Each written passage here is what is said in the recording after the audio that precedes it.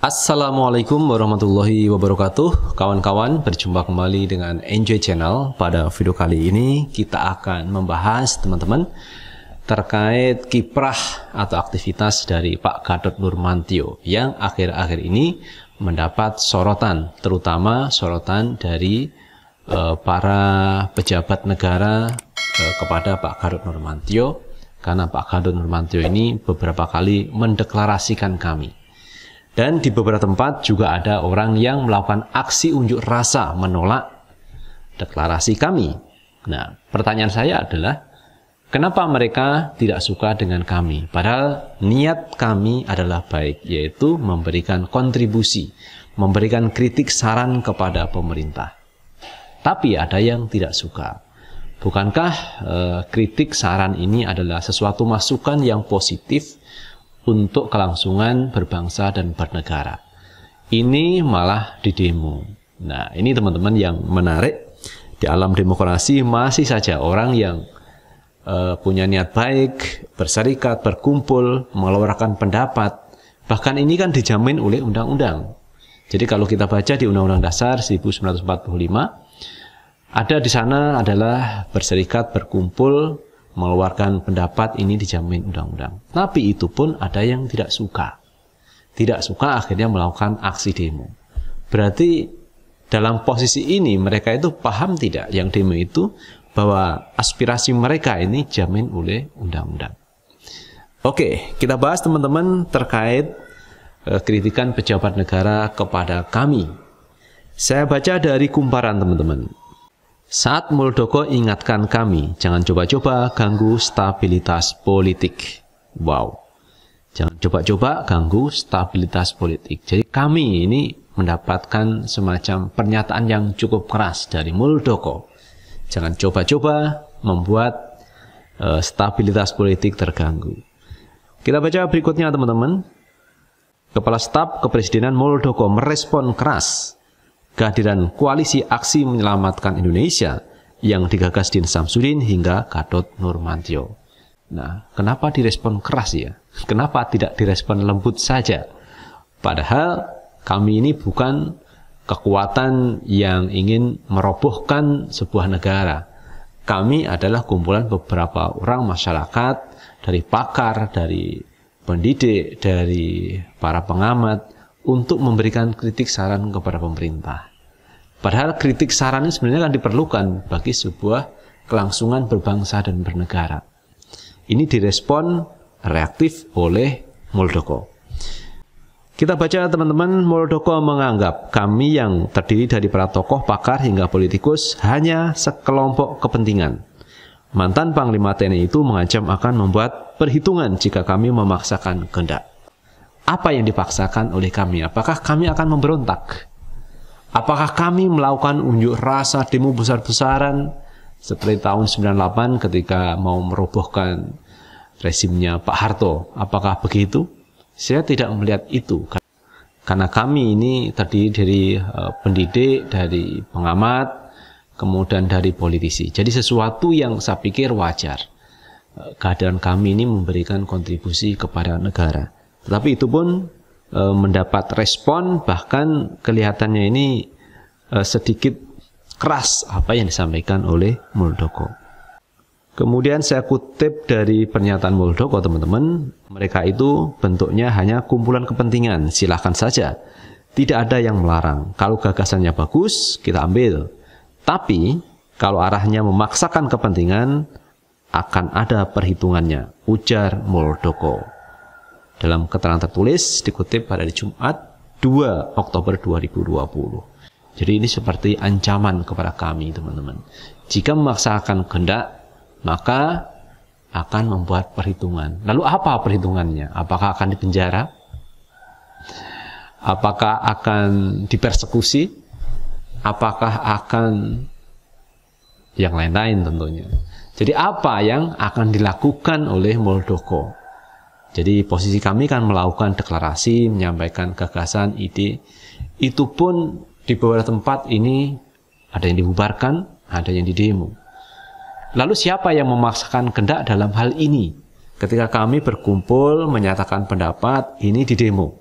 supaya dibubarkan. Nah, kasus seperti ini, lalu siapa yang memaksakan? Apakah kami ini memaksakan atau yang demo yang ingin membubarkan ini yang memaksakan?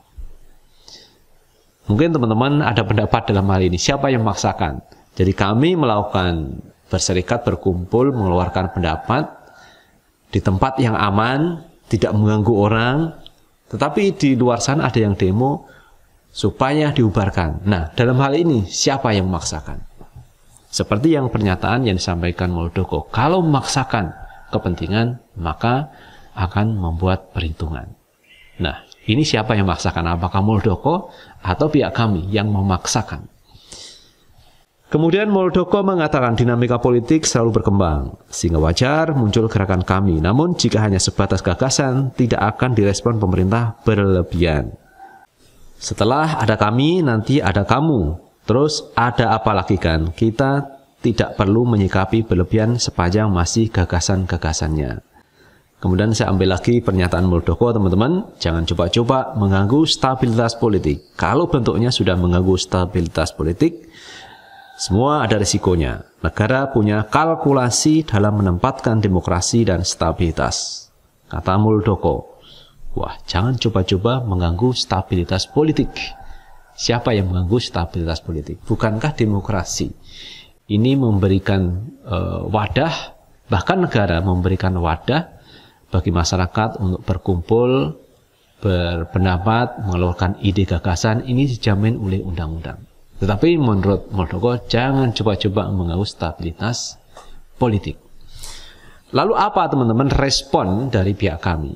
Ini ada pernyataan yang yang bisa menjawab apa yang disampaikan oleh Muldoko.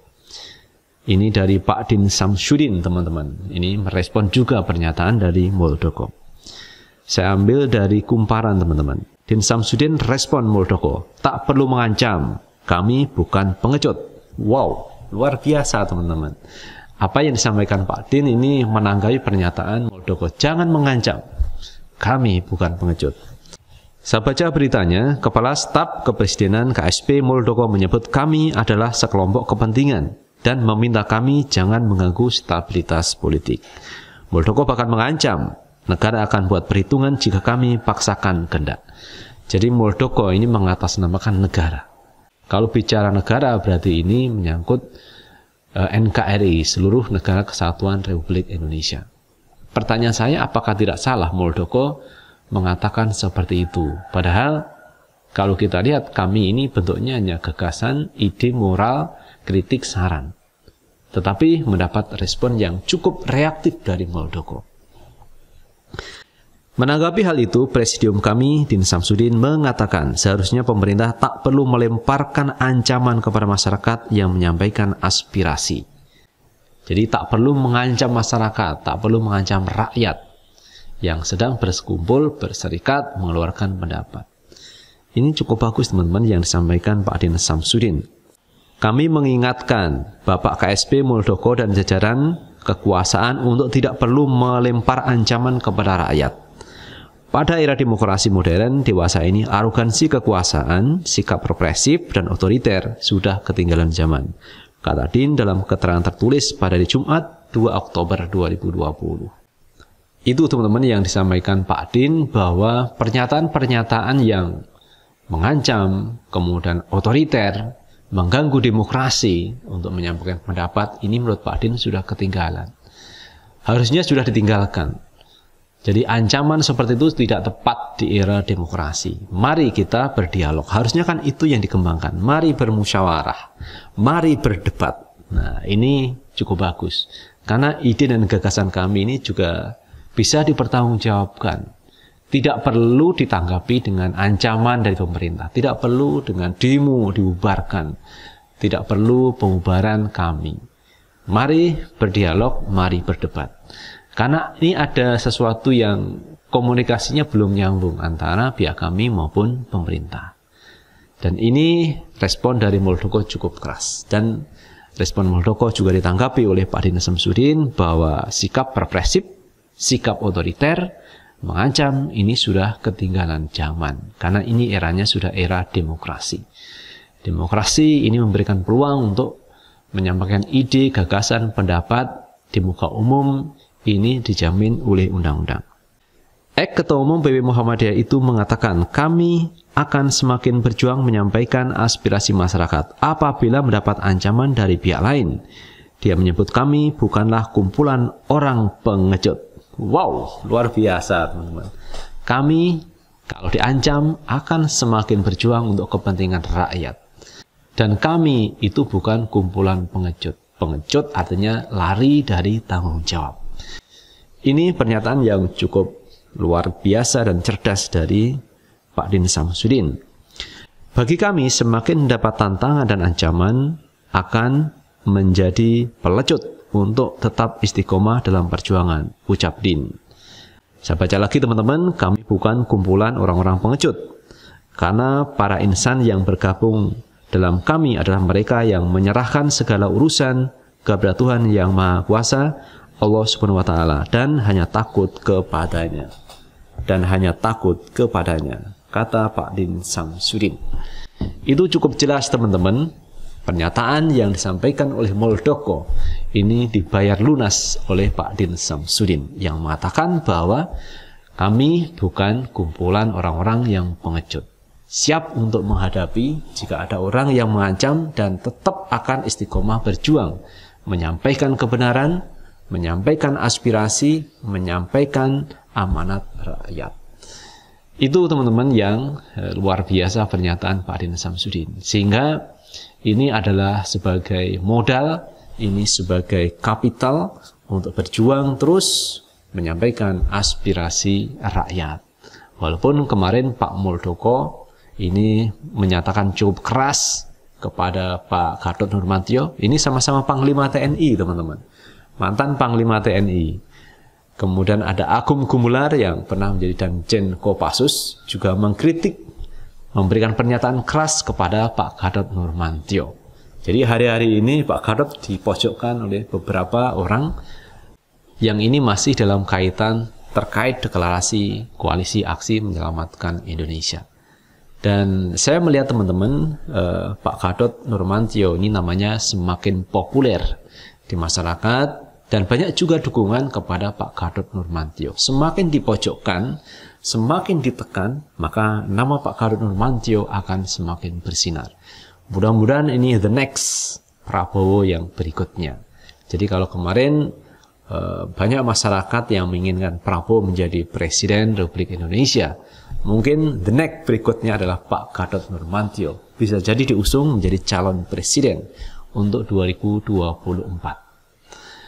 Itu teman-teman yang bisa kita sampaikan dan bagaimana menurut teman-teman silahkan tulis di kolom komentar karena komentar teman-teman akan sangat mencerahkan sebagian yang lain. Dan terakhir, jangan lupa untuk tetap like, subscribe, share, dan komen di channel ini agar kita bisa membangun channel ini menjadi lebih baik lagi. Sukses selalu. Assalamualaikum warahmatullahi wabarakatuh.